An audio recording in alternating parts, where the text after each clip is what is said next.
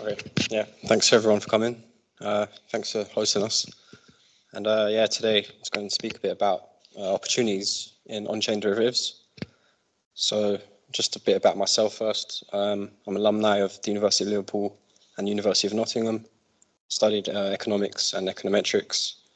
And then through studying economics, become interested in uh, monetary economics and trading.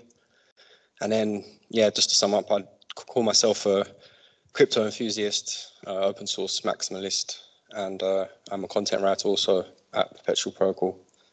But yeah, that's enough about me. Um, let me get into the main topic of the talk, uh, which is opportunities in on-chain derivatives. So here's the agenda for my talk. So these are the topics I'll be covering. Um, just an introduction to on-chain derivatives. Uh, what is Perpetual Protocol? Uh, why you may want to use Perpetual Protocol. A bit about a trader's journey, uh, how passive traders can benefit from perpetuals. And then also I thought it'd be useful, maybe some tips on joining a DeFi project, um, maybe if you're looking for employment in, in that sector. And then also a bit about the future of on-chain derivatives. So what are on-chain derivatives? So derivatives are contracts that derive value from, from an underlying asset and they're priced of some function as the, of the spot price of the asset. So derivatives should be closely in line with the price of the underlying asset. So different examples are futures, perpetual futures, uh, options, and then there's also exotic derivatives, which one example is like power perpetuals, and we'll see a bit more about that in the next slide. Um, so they're on chain because trades are settled, settled on the blockchain, and this brings various benefits. So um, it's completely transparent, so it makes market manipulation much easier to detect, and embezzlement is not really possible unless like the dev team really want to be caught red-handed. And also you're removing the need to trust third parties. So there's no need to trust like a custodian of your assets or trust a group of people. You're basically trusting the code of the smart contracts. And then another benefit is um, composability. So it's not true for all um, perpetual dexes, but composability basically is the property where um, anyone can like build products on top of your protocol.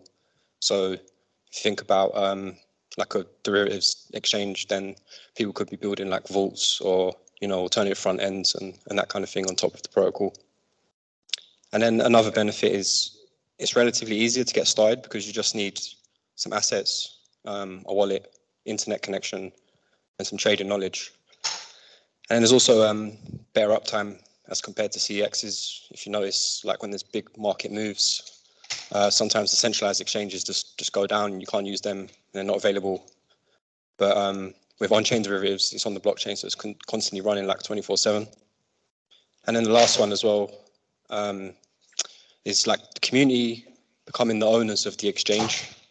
So through holding the project's token or through joining like a DAO, you basically the idea the ideal is that the community becomes the owner of the exchange and it's not like a centralized exchange where it's just benefiting a small group of people. So that's a bit about on-chain derivatives. Um, here's like a snapshot of the on-chain derivative landscape. So I say a snapshot because not every single project is covered here, but like just the main ones that I thought about and the maybe the most successful ones so far. So on one hand, you have perpetual futures, which is it's kind of like the simplest derivative product. Um, so with options and power perpetuals, the payoff is uh, non-linear, but with perpetual futures, the payoff's linear. So that means uh, one dollar change in the price of a perpetuals, perpetual futures contract will lead to an approximate one dollar change in your P&L as a trader.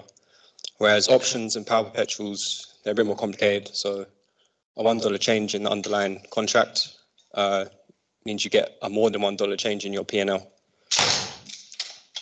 So here we can see perpetual futures, uh, some of the leading ones are Perpetual Protocol, DYDX, Kwenta, GMX, Drift, and Gains Network.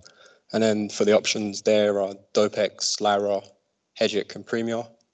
And then Power Perpetuals, uh, we have Opyn and O1 Exchange. So on Opyn, you can trade a derivative contract, which is a Power Perpetual that allows you to get access to uh, exposure to the price of Ethereum squared.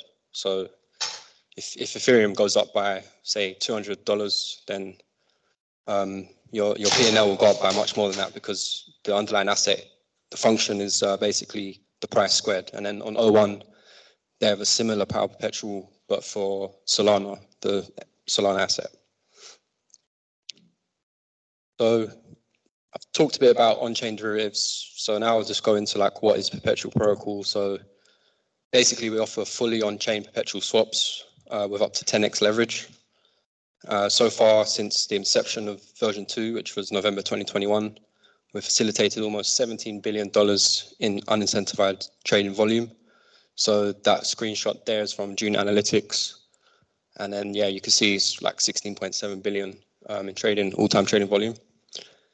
And then another main point is that Perpetual Protocol is built permissionlessly on top of Uniswap v3. So it functions very similarly to Uniswap v3, except there's also leverage as well which is one of the main differences. So currently, uh, there's 18 markets, 18 different markets available. And uh, one of the cool features is the multi-collateral feature, which was released last year. So that allows you to use um, Ethereum or Wrapped Ethereum, uh, OP token, USDC, and USDT as collateral assets. Uh, we're built on the Optimism rollup, so that makes it very cheap and fast uh, to trade completely on chain. And then perhaps one of the most important points is that Perpetual Protocol is open sourced software. So what, what our aim is is to build like trust trustless financial products for everyone. So, you know, we're not just building for a certain group of people. Um, we're, we're building for everyone and want to, you know, really promote like financial inclusion, access to um, uh, to, to new investment products that are open to everyone. So here, here's basically, I'm just going to run through like a trade example, like what happens on the platform when you make a trade. Um, so someone will come in, let's say they deposit some USDC, they deposit $100, and then that collateral is placed in the vault. And then basically the clearinghouse, um, due to the to the rules of the protocol, you can mint up to like 10 times your collateral value. So if you deposit $100, you commit up to $1,000 worth of VETH or VUSD. So these are virtual tokens which can only be traded on perp, but they're placed in um, like a Uniswap V3 pool. So basically the, the virtual tokens represent your derivative position. So the next step, say someone wants to open a long position, right? So let's say the price of Ethereum is $2,000. So this diagram was made a while ago. Price is below now. But um, let's say they want to open long position of 0.25 ETH. So what happens then is that they put up $100 as collateral in USDC, and then the clearinghouse mints $500 worth of VUSD tokens for the trader. And then those VUSD tokens are swapped in the AMM, which is basically a Uniswap V3 pool used exclusively uh, for perp. You can't trade these tokens outside of perp, they're just within the protocol. And then the VUSD is swapped for V, um, the Ethereum, basically virtual Ethereum. And then it stores the cost basis, um, the, co the cost basis of the virtual ETH. So then so virtual USD is added to the pool, and then virtual ETH is removed from the pool, and then the clearinghouse basically manages um, that virtual ETH for you, and that's your position basically. So that's representing your long position. So then let's say the price of Ethereum goes up by $500. The traders made some profit. They want to they want to close the position. So when they initiate close position, which is a function um, like they're called a smart contract. Basically, the, the virtual ETH is deposited back into the pool, and then in return, they get some virtual USD uh, USD tokens in return. And then those um, virtual USD tokens are burnt, and then the cost basis is set to zero for that trade because the trade is closed now, it's finished. So then Alice's P&L, um, the trader who deposited earlier, is basically um, their P&L is the uh, v, virtual USD tokens they receive minus their cost basis. So there's an accounting system going on in the protocol which you know tracks the cost basis of all traders and all makers as well. And then um, that USDC is placed into the vault by the clearinghouse, and then um, the trader can remove their collateral and their P&L as well. So that's just a quick overview of how it works. So now I'll get into um, why you may want to use Perpetual Protocol. So the main use case is for uh, active and passive crypto traders. So you can acquire leverage without going through a custodian or trusting a third party. And then I'll just briefly go along, um, go over the difference between active and passive traders. So traders want to express their market views by going long or short. So active traders, they may long or short with leverage using derivatives, or they may day trade or swing trade spot markets. Whereas passive traders, you know, they're a bit more relaxed. They just want to, you know, they just want to earn earn a return. Maybe they just buy and hold, or maybe they want to do like a delta delta neutral strategy where, you know, they don't want exposure to to the, the price of the underlying assets or price of any cryptocurrencies. So being being an active trader, you know, it's it's quite difficult. Like most people probably want to just be like a passive trader, like just just earn a yield or earn a return without much work. But um, I read this in a book by um, Dr. Bill Williams, and the book's called Trading Chaos. So this guy is known for applying complexity theory to trade to the practice of trading.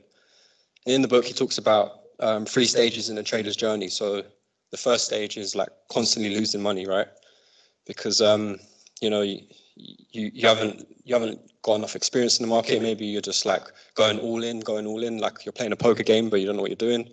Or you're FOMOing, or you're buying tops and bottoms. You know the list goes on.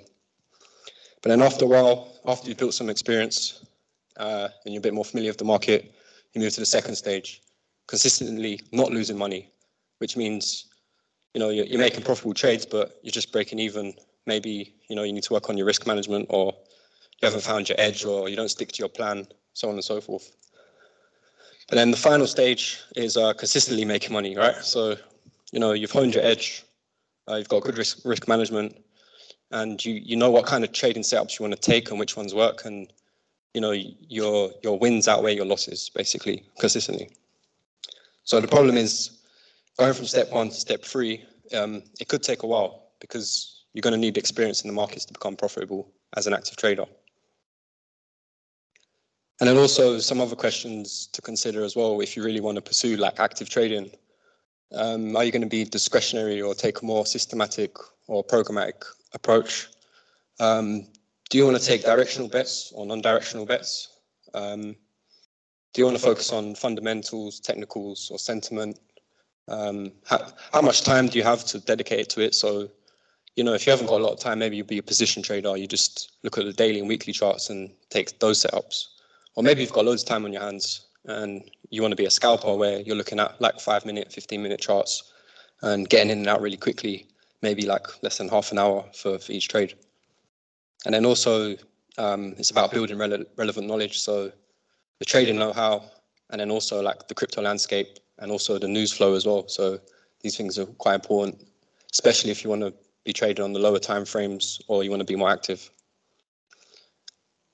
So one of the big part of the work that we do as well on our marketing team is that we want to support traders along their journey um, with education. So two ways we do this is through our blog posts. So you can find our blog on Mirror and on YouTube as well. So, and then also like through conversations with with our community on Discord, Telegram, uh, Twitter updates, and so on and so forth. So, it's just a few a few examples of some of the educational content we put out. So, it, it ranges very like loads of different topics. So it could be like technical analysis explainers. It could be like trading education pieces, uh, fundamental outlooks of the crypto market, or even like how to use DeFi tools to like find alpha as well, and so on. And also we have this thing um, at Perp where we we encourage our team members to share knowledge with each other on um, maybe topics that might be difficult to understand or or quite new. So what we do, we have this thing called brown bag. So uh, it rotates between all the team members, and we, we share our knowledge on a on a particular topic. Um, so here are some examples from recent times. So one of our team members hosted one on Curve stablecoin, explained how it worked, like done a deep dive into it. Um, another one was about danksharding, and another one was like about a DeFi protocol called Arrakis Finance. But then we also record these and then we put them up on YouTube for everyone else to um, to watch as well, and then they, they can learn about it as well. So yeah, for the next bit, so I've spoken a bit about active trading and the trader's journey, but maybe not everyone wants to be an active trader.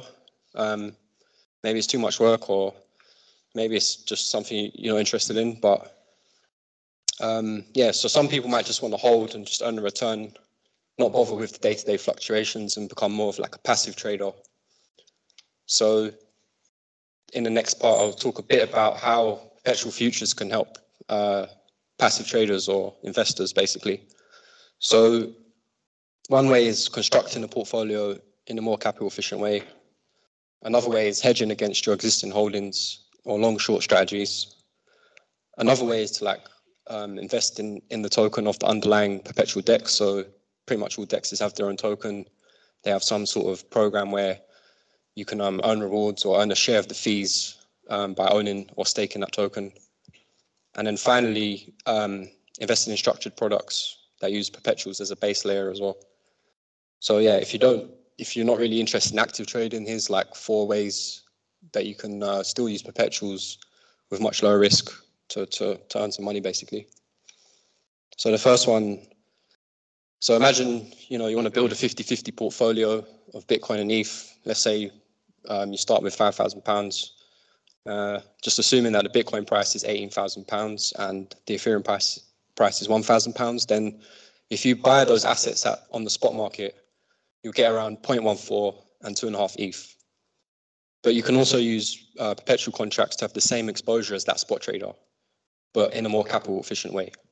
So if you exchange £5,000 uh, to USDC on Optimism, you get around $6,000 with current exchange rate. But then you can deposit $3,000 to perp and long 0.14 and 2.5 Bitcoin. So here you're leveraged uh, 2x with the same exact portfolio and same price exposure as the spot trader, but you have $3,000 left over, right?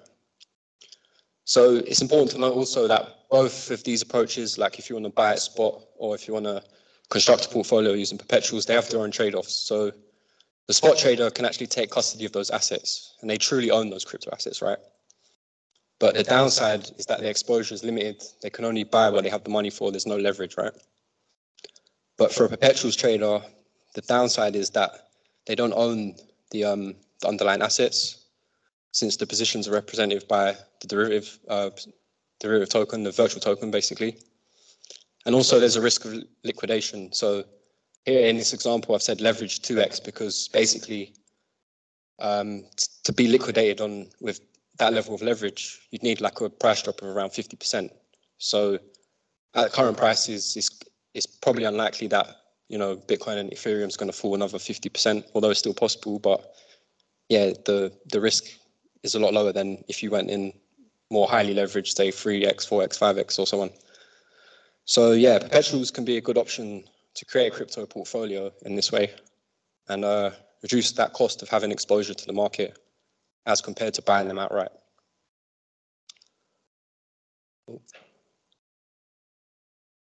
So the second use case would be um, hedging against existing holdings. So let's say you, you chose to buy some spot assets like the spot trader instead of you know constructing a portfolio. And let's say you're holding or you're staking some ETH, right? So when the ETH price increases, or you notice like the market's getting frothy, or you're noticing signs of euphoria, or you believe the market's overvalued, and so on and so forth, you can use perps to go short and basically hedge your holdings. So in this example, I'm going to assume that someone's staking 8 ETH in a Rocket Pool mini pool, um, which is going to be I think it's going to be released at the end of the month where you can become a stake with only 8 ETH. Normally you need 32 ETH, right? But then if you deposit some collateral to Perp or any other perpetual DEX, you can then short 8 Ethereum, yeah? And then any any losses from the staked ETH or unrealized losses from staked ETH, so let's say it's at $2,000 and then it drops sharply to 1,300.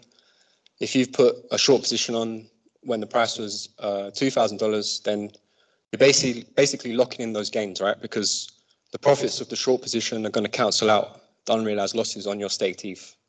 And then if someone's staking ETH, obviously they want to they don't want to unstake or there's a withdrawal queue anyway. But if if they don't want to unstake uh, because they don't want to give up those future rewards um, because they're going to get rewards from staking.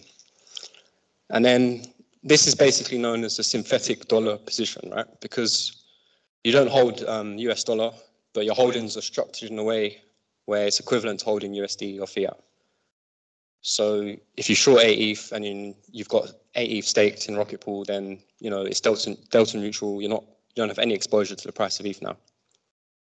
So the only downside of uh, using perps in this way is that uh, there's something called a funding rate. So the funding rate keeps the price of the derivative contract or the virtual token in line with the price from uh, Chainlink, uh, Chainlink's Oracle feeds. So if the funding rate is consistently or deeply negative, then that means short position, anyone with a short position will incur fees which accrue to the traders that have long positions. Whereas if the funding rates are positive, then any short positions will earn money as well, um, on top of any profit that you make from the price movement. So yeah, another kind of, uh, I suppose like a, another type of strategy that's quite quite similar is the long short strategy. So yeah, instead of staking ETH, let's say you deposit some wrapped ETH to a yield aggregator such as Yearn Finance or Reaper Farm. So yield aggregators can give you a return on your on your assets from an automated strategy. So currently on on Reaper Farm, um, the APR for wrapped ETH is about 7.7 percent. So you could deposit some wrapped ETH into that strategy and um, earn, earn money from the yield aggregator, right? But then you can also hedge that risk, um, hedge against market risk by shorting ETH, similar to the previous example, um, using perpetual futures. So you're basically remaining delta neutral, you don't have exposure to the price, and you're extracting that yield offered by the yield aggregator without taking on market risk. And then, as I mentioned before, you can earn additional yield because if the short position, uh, because of your short position, if the funding rate is positive, because you traders that are long will be paying traders that are short, and then you'll you'll receive some of that, um, some of those funding payments. And yeah, this setup is basically known as a long short strategy. So the third way I spoke about was um, get you know get getting involved with the project by becoming a token holder. So perpetual dexes they they all have some sort of staking or reward program if you if you hold their token or stake their token. Uh, Perpetual Protocol's version of that is called Lazy River. So it's called that because it's just like an easy way to earn a passive stream of income.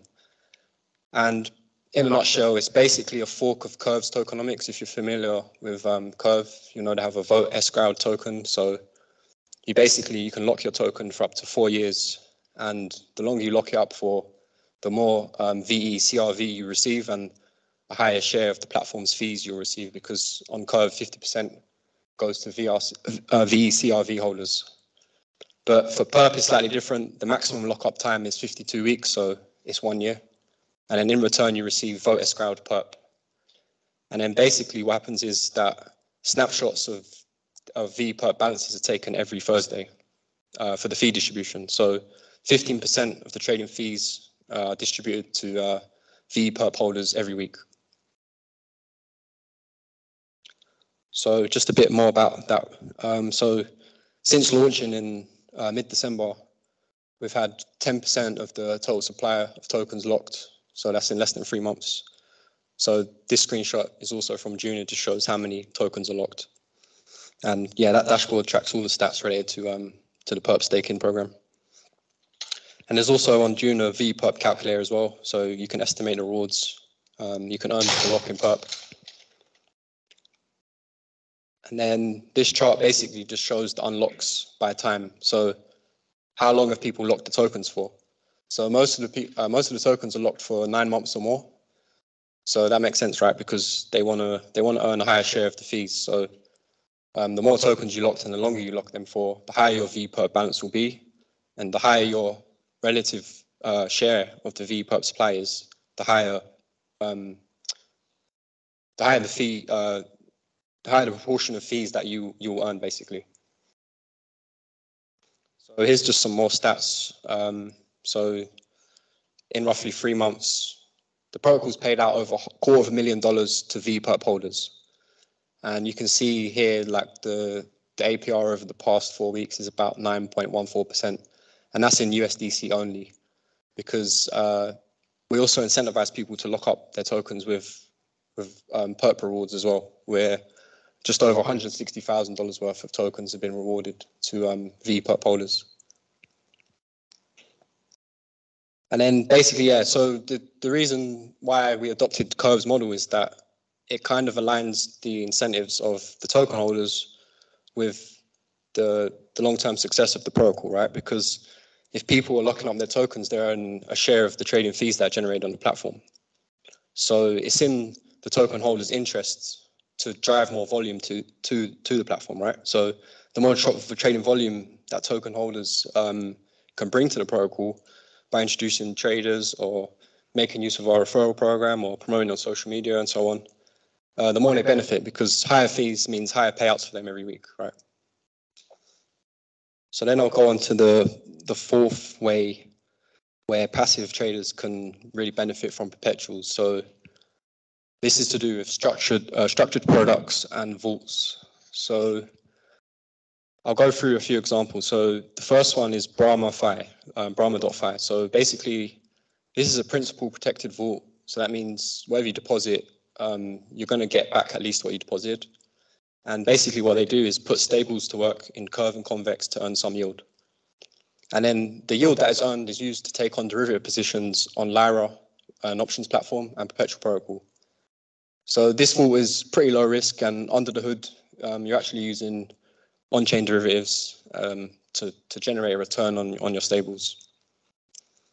And then another one is the Tea House LP Vault. So this is one of our partners, and they built an automated liquidity provision strategy for perp. So it's an easy way for, for anyone who may not be familiar with like providing liquidity on Uniswap V3. They just basically deposit to the vault, and then they can earn a share of the trading fees and uh, token rewards.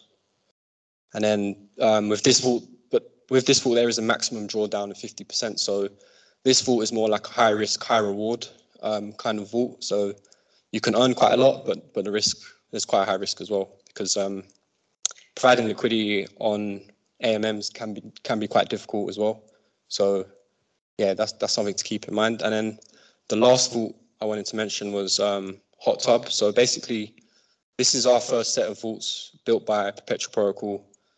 So basically, what, what it's doing is utilizing an arbitrage strategy to generate yield in ETH and, and USDC with minimal risk. So you may not you may not know, but um, optimism basically there's there's no MEV on optimism because the mempool is like private.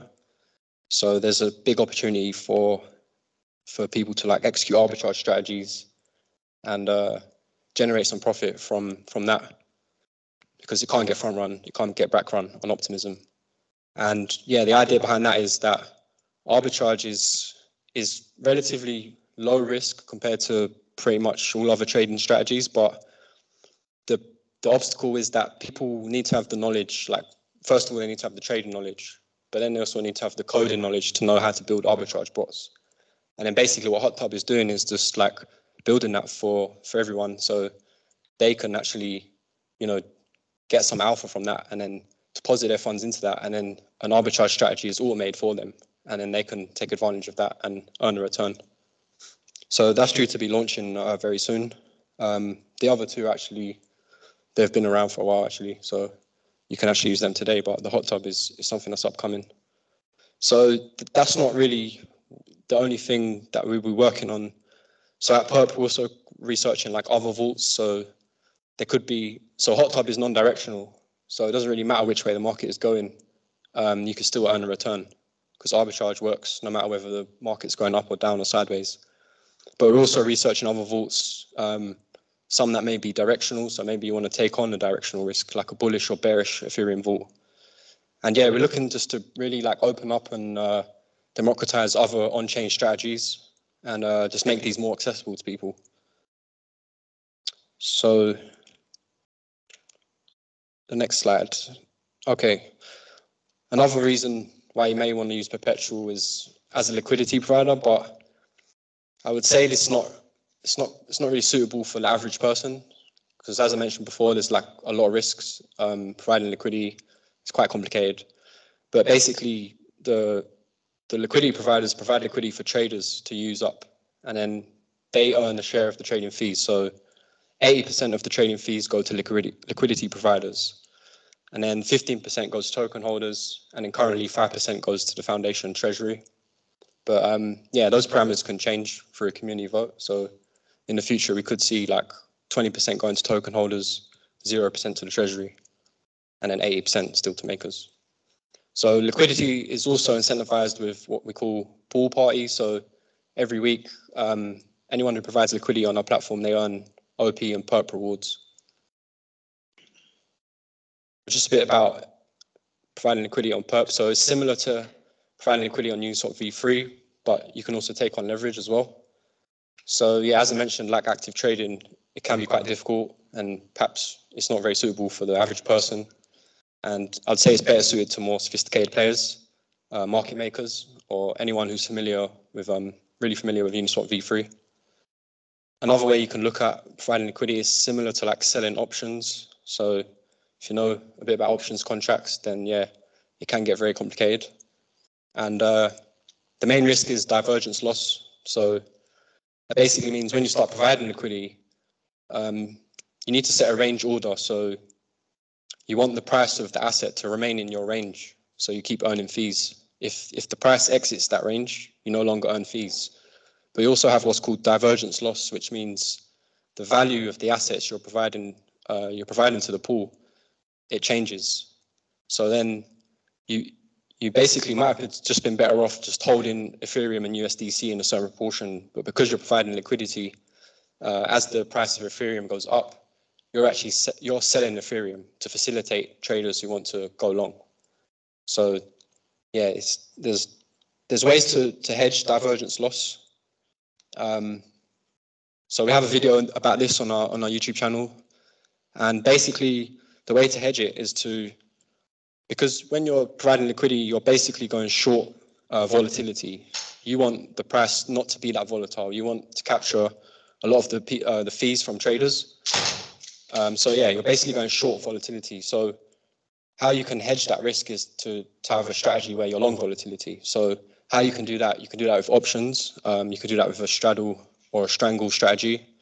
And uh, it's explained a bit more in the video. But basically what you're doing is you're buying a call option and you're buying a put option. So when the price goes out of that range that you set as an LP, um, either one of those option contracts will make will make money basically, and then that should hedge, hedge the risk as well.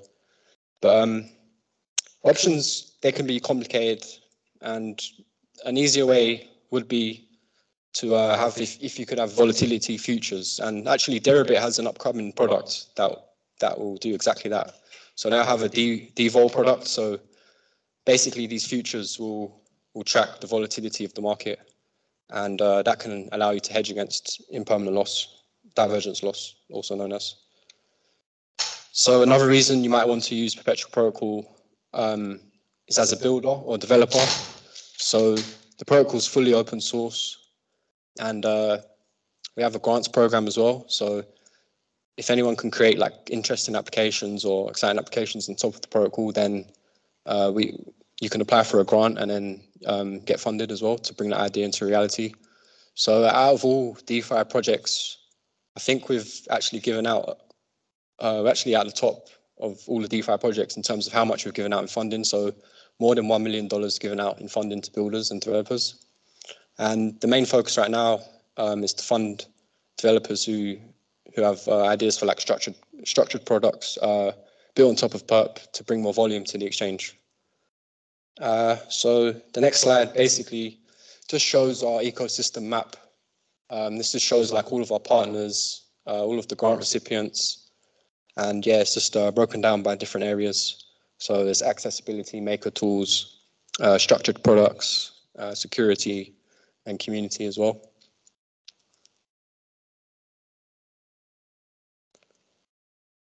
So continuing on with what people have built or what developers have built on top of the protocol. So in my opinion, this is one of the coolest examples. Um, it's a TradingView strategy connector. So what it does is it allows anyone to automate trades um, using TradingView strategies. So I don't know if you're familiar with the TradingView website, but um, anyone can create strategies uh, so they can just like automate their trading. So, you know, they could use a particular uh, technical tool and then using PineScript basically write a strategy and automate it.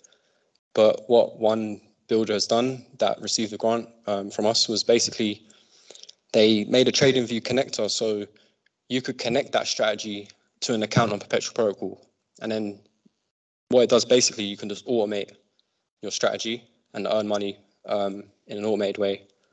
Um, the only thing you need actually though is a TradingView Pro account, which I think is like 30 $40 a month.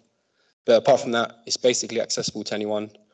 And uh, yeah, it's a really cool way to automate um, your own strategies or even use other people's. So another project um, that received the grant and built a product was uh. So this is a tool for makers, so it's only really um, relevant to them. But basically, what it shows is it, it's a backtesting and visualization uh, visualization tool. So you can see like what's your liquidation price or how how much fees you're going to earn by placing liquidity in a certain range, and then you can play around with those numbers and see uh, how much you could potentially earn, and uh, also the liquidation prices of your liquidity position. So just a disclaimer, it's still in beta, and uh, the team that built it uh, they're known as component finance. Uh, they're actually seeking feedback from makers. So yeah, you just input a range order, the amount of collateral you have, and it shows you how much you can expect to earn. So now I'm going to move on, like how to get involved in DeFi, a bit, a bit about that. So evangelists, they're a vital part of the ecosystem. Uh, pretty much all DeFi protocols have some sort of ambassador program. So Perp's version of that is Perp Evangelists, and they can earn Perp tokens for the work they do. So they can contribute to the protocol. Maybe they can create some content, uh, do some translation, host events, do some community building, or even community moderation uh, in our Discord. So yeah, here's here's the link to our Perp Evangelist program. Um, there's more details there. Um, yeah, I'd highly encourage anyone to, to check it out. Um, maybe they want to get some experience or like do some part-time work in the space. But yeah, not not just us, but you know, pretty much all other DeFi protocols have this sort of program. So if you if you're really particularly interested in in one of those protocols, then I'd really recommend uh, looking up to see if they've got such an ambassador program and joining it. Uh, you know, you get your name out there as well and uh, build knowledge and uh, make make connections as well.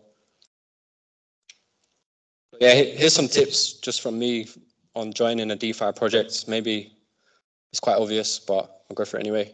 Um, yeah, so first thing I'd say would be like familiarize yourself with protocols you find interesting. Um, become an expert on on a few, and uh, don't spread yourself too thin. If you think about how many experts there are in crypto uh, at this moment in time in the world, it's very very small compared to say other subject areas because it's so new. So if you if you can become an expert in a certain protocol or certain area, then you know you're not going to have much competition. So I would also say like to cover the foundational knowledge, you know, like how blockchains work, Bitcoin and Ethereum, uh, how stablecoins work, how automated market makers work, like Uniswap, Curve, and Perp, money market protocols, and then yield aggregators as well. I'd also say Discord is where it's happening, like for a lot of projects. So it's usually the best place to find opportunities, whether that's like bounties or the ambassador program or even job listings, it usually will go through Discord first before it goes out to the wider public. So it's it's also a great place to learn more and uh, get get involved as well. And then yeah, network is your net worth. So network as much as possible. So this is like going to events, attending conferences, making friends in the industry, that sort of thing. Um, I'd say that's that's quite a quite an important thing if you're really looking to to get involved in, in the industry more. So most people working in the space, you know, you can just like ask for advice or introduce yourself, make yourself known, network with them. And then I'd also say, yeah, I already mentioned this, becoming an ambassador. But also is important is like building your on-chain profile. So this could be things like NFTs as certifications. So you could use this as part of your CV or part of a job as a job submission. So uh, two good examples are Alchemy. So they run courses. Um, so one of the courses like Ethereum development, if you're interested in programming uh, or smart contracts. And then basically once you complete the course, you get like an NFT as like a badge uh, for your completion. And then there's another one, uh, Dune Initiation, which is like a, for data analysis, uh, doing data analysis with SQL. And also I'd say build a GitHub profile even if you're not a developer, because you can you can add pretty much or open source anything. So, you know, any scripts or any like uh, code for data analysis you could put up there, or even you might want to collect uh, a group of papers together that's related to a particular topic and uh, just upload it to your profile as like a, a bank of knowledge on a certain topic. So the future of on-chain derivatives. So this will be the last section. So there's many different approaches being taken, um, but I don't think there's no clear winner yet, and I think most people will agree. Um, but I think this narrative is really yet to like really take off, like on-chain derivatives. Um, most of the trading is still done on centralized exchanges. But I think it will take time for decentralized exchanges to really match centralized exchanges in terms of like features and uh, user friendliness. And then also a lot of things have happened in the past year or so. You know, uh, the Luna collapse, there was the Mango Markets incident, and I think following on from those events, there's going to be a greater focus across on-chain derivatives and DeFi in general um, on resilience and security. And then finally, I just want to say the expansion of vaults as well is an important trend to keep an eye out for. So there's already so many vaults on the market, and basically what they're doing is uh, packaging like on-chain strategies into a simplified and easy product to use for everyone. So you don't have to know like the strategies or execute them yourself. Basically, that's taken care of, uh, taken care of for you. And uh, yeah, it's just kind of like simplifying the entry point into on-chain derivatives, so you don't have to be like a trader or like a really experienced trader to like take advantage of of, of what's going on in in this sector. So yeah, I think that's about it. Um, thank you all for listening. Thanks for coming. Um, if there's any questions that anyone has, be happy to answer them. But um, you can also learn more about Perp on the website uh, via our Twitter account uh, or our blog on Mirror, and my email or and my Twitter there as well. So if you like a copy of the slides or have any questions or anything, just free feel uh, free feel free to reach out to me or contact me on Twitter. And yeah, that's it. Thanks very much.